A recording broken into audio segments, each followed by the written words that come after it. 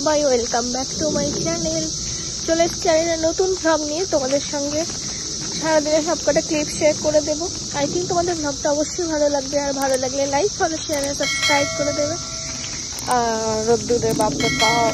তো বেরিয়ে পড়েছি আমরা। তোমরা টাইটেল দেখে কিছুটা বুঝেই গেছো। চলো আজকে একটু ঘুরে আসি ঝট করে। আর তোমাদের সঙ্গে ক্লিপগুলো শেয়ার করতে থাকব। তোমরা ব্লগটা কন্টিনিউ করো। আমরা গাড়িতে জাস্ট বাপরে, গাড়িটাও গরম হয়ে গেছে। আজকে অনেক কটা কাজ আছে আমাদের, সেগুলো একটা একটা করে সারবো, আর একটু ঘুরেও নেব, সেটাই হবে। চলো তোমরা ব্লগটা সরি ব্লগটা কন্টিনিউ করো।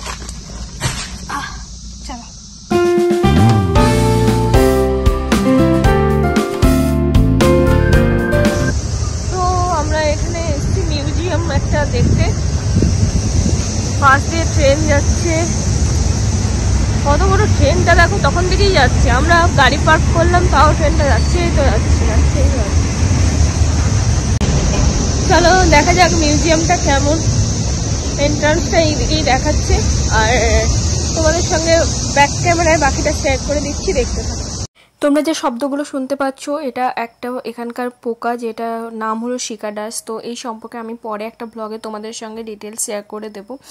আর সেই শব্দের জন্য আমরা বাইরে কোনো কিছু মানে কথা বলতে গেলে এত শব্দ আসছে যে আমার কথাগুলো হয়তো তোমরা ক্লিয়ারলি শুনতে পাচ্ছ না। যাই হোক তাই আমি কয়েকটা আমি ভয়েস ওভার করেই তোমাদের সঙ্গে শেয়ার করে দিলাম। আর চলো এইটা হলো মিউজিয়ামের ভেতরে। ভেতরেও আহ, বললেন উনি যে এখানে কোনো গাইড আলাদা করে নেওয়া যাবে না নিজে থেকেই ঘুরে দেখে নিতে হবে। যেহেতু মিউজিয়ামটা খুব একটা বড় ছিল না। যাই হোক, চলো ভেতরে কি আছে তোমাদের সঙ্গে শেয়ার করে দিচ্ছি। আমরা এন্ট্রান্স এটা ছিল, এটা দিয়ে আমরা ঢুকে গেলাম। আর এই, এটা থেকেই শুরু করলাম আমরা মিউজিয়ামটা দেখার। তো চলো তোমরা দেখতে থাকো ব্লগটা কন্টিনিউ করো। আই থিঙ্ক তোমাদের ব্লগটা অবশ্যই ভালো লাগবে।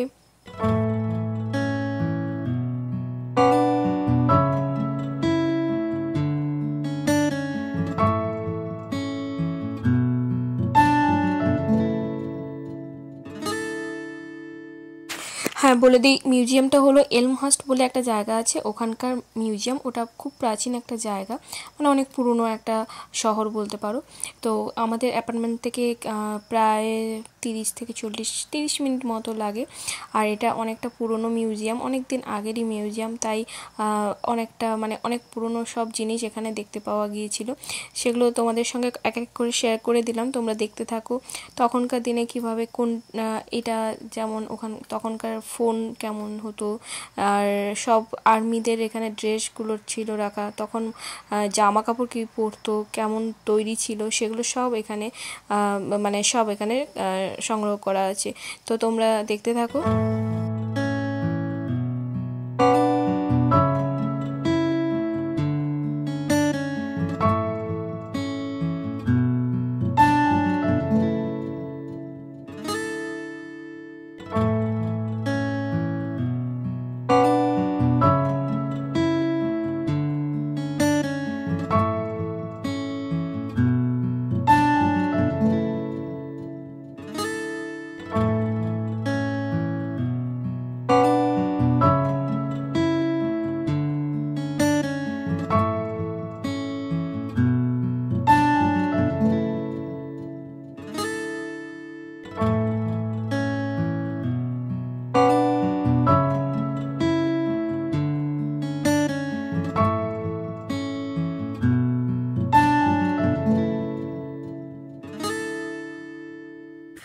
এখানে দেখতে পাচ্ছ যেসব মানুষের ছবি দেখা যাচ্ছে, তো এই মানুষদের উপরে এক টাচ করলে প্রত্যেকেরই হিস্ট্রি সম্পর্কে জানা যাবে মানে প্রত্যেকের বায়োগ্রাফি জানা যাবে। তো আমরা তাই রুথ স্টার্ট বলে একজনের উপর টাচ করলাম, এই যে দেখো ওনার হিস্ট্রি চলে এসছে।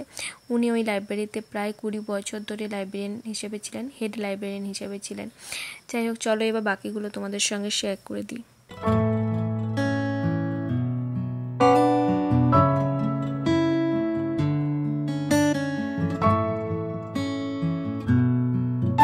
এটা ছিল তখনকার এক ধরনের ক্যাপ। দেখতে বেশ সুন্দরই লাগছিল। আর এই জায়গাটাতে বিভিন্ন ওই ম্যাপ দিয়ে দেখানোর ব্যাপার ছিল। এটা খুব ইন্টারেস্টিং ছিল যে প্রথমে ওই শহরটা কতটা ছিল, তারপর পরপর কীভাবে বেড়েছে তার একটা পুরো মানচিত্র এখানে দেওয়া ছিল। মানে টাচ করলেই দেখাচ্ছিল প্রত্যেকটা সাল অনুযায়ী কীভাবে ওটা পরপর বিস্তার করেছে সেইটা। যাই হোক আর এইগুলো দেখতে পাচ্ছ, এখানে অনেক মানে জিনিস যেগুলো দেখা যাচ্ছে যেগুলো আগে মানুষ কেমন থাকতো কি পরতো, এই যে লোমগুলো দেখতে পাচ্ছ, এগুলো ওদের বস্ত্র ছিল। আর এগুলো সম্পর্কে কিছু ডিটেলস এখানে দেওয়া আছে। আর আর ডিটেলস তো অনেকটাই আছে যেগুলো তোমাদের সঙ্গে হয়তো একটা ব্লগে দিতে পারব না নেক্সট আর একটা ব্লগে আর আমি আরও কিছু ডিটেলস আমি শেয়ার করে দেব। আর এই যে দেখতে পাচ্ছ, চারপাশেই এই যে একটা বড় সিন্দুক টাইপের কিছু আছে। আর এই যে এইগুলো তো মানে তখনকার দিনের সব কাস্তে আর অস্ত্র শস্ত্র বা তখন যে আর্মিতে যেগুলো ব্যবহার হতো সেই সব জিনিস এখানে রাখা আছে। আর এই যে দেখতে পাচ্ছ চাকির মতো একটা জিনিস, এটা হলো চেনটাকে এইভাবে গুটিয়ে রাখা আছে। তখনকার দিনে দমকলের বা বিভিন্ন ইমার্জেন্সি জন্য এইটা ব্যবহার করা হতো। যাই হোক, আমি, আমরা মোটামুটি ওপরের অংশটা দেখে নিয়েছিলাম। তারপরে এলাম নিচের দিকে। মানে ফার্স্ট ফ্লোরটা আমরা দেখতে। কারণ ওটা আমরা ছেড়ে আগে ওপর, ওপরটা দেখে এসেছিলাম। তারপরে নিচে যেগুলো আছে সেগুলো তোমাদের কয়েকটা জিনিস দেখিয়ে দিই। যেগুলোর মধ্যে কিছু কিডস অ্যাক্টিভিটিস আছে। আর কিছু স্টোরি তো আছেই হিস্ট্রি তো আছেই। আর এখানেও কিছু আর্মির ড্রেস আর মেডেল থেকে শুরু করে ট্রফি থেকে শুরু করে সবই আছে। এখানেও কিছু হিস্ট্রি এখানে দেওয়ালে আছে।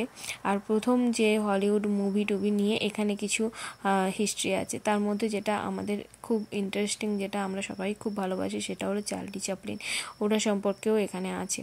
যাই হোক, খুব ইন্টারেস্টিং ছিল। এই যে দেখো, দেখতেই পাচ্ছ চার্লি চাপলিন তো খুব ইন্টারেস্টিং যেটা আমার সবসময় ফেভারিট আর, তো সেই সম্পর্কে, এছাড়াও আলাদা শো দেখাচ্ছিল। ইয়র্ক থিয়েটার যেটা এস্টাবলিশড হয়েছিল উনিশশো চব্বিশ সালে লেবার ডেট দিন। আর এটা বিল্ড করেছিল একজন আর্কিটেক্টার এলমার বেহামস বলে নাম ওনার। তো তখন ওই সময় ছিল ইলেকট্রিক মার্কিউ আর বড় পাইপলাইন এবং অডিটোরিয়াম একটা ছিল আর অডিটোরিয়ামের মধ্যে ওয়ান থাউজেন্ড বসার সিট ছিল। ইয়ক থিয়েটার নিয়ে একটা বড় একটা ভ্লগ আমি পরে দিয়ে দেবো তোমাদের সঙ্গে শেয়ার করে দেবো। আর তোমরা চ্যানেলটাকে ফলো করতে থাকো সেখানে আমি পুরো ডিটেলস ইনফরমেশান আরও আমি অনেক কিছুই শেয়ার করে দেবো। তো আমাদের মিউজিয়ামটা মোটামুটি ভালোই লাগল।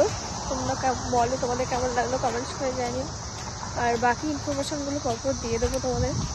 তারপর আমরা ব্যাক করলাম। আর কেমন লাগল তোমরা অবশ্যই কিন্তু কমেন্টস করে জানিও। ভালো লাগলে লাইক ফলো শেয়ার আর অবশ্যই সাবস্ক্রাইব করো আর বেল আইকনটাকে প্রেস করো।